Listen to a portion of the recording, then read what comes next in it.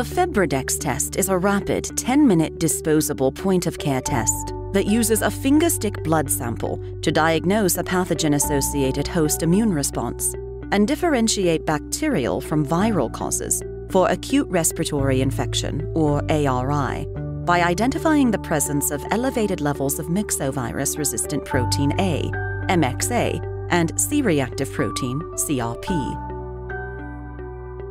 Open the foil pouch and remove the test.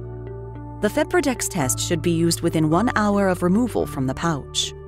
Clean the fingertip with an alcohol pad and air dry. Twist and remove the protective lancet tab covering the retractable safety lancet. And press firmly to puncture the skin. Wipe away the first drop of blood with gauze and gently massage to encourage blood flow.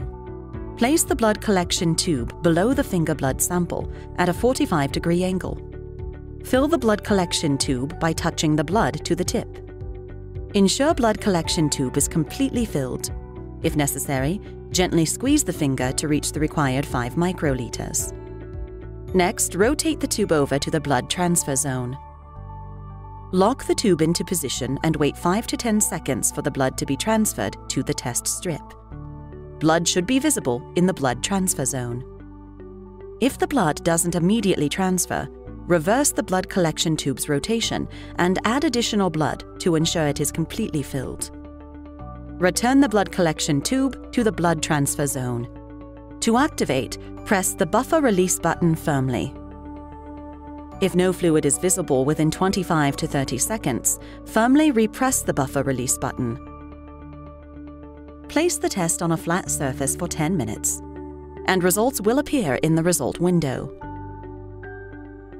The presence of a red line with or without a black line is indicative of a viral infection.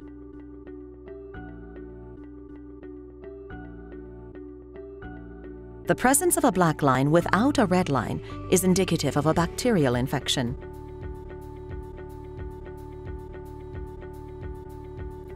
Any indication of the presence of a red or black line, weak or broken, is consistent with a positive result.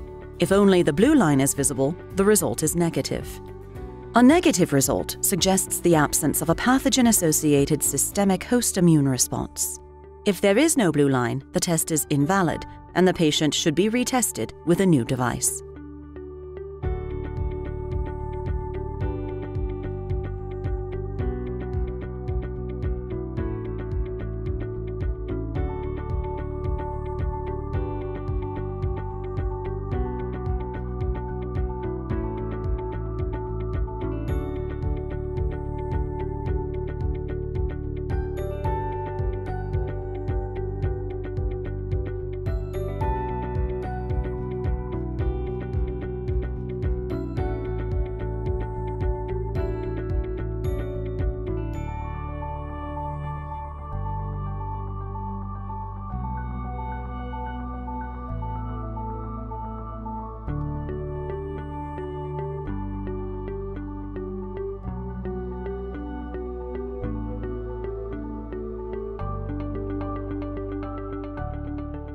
Visit febridx.com for more information.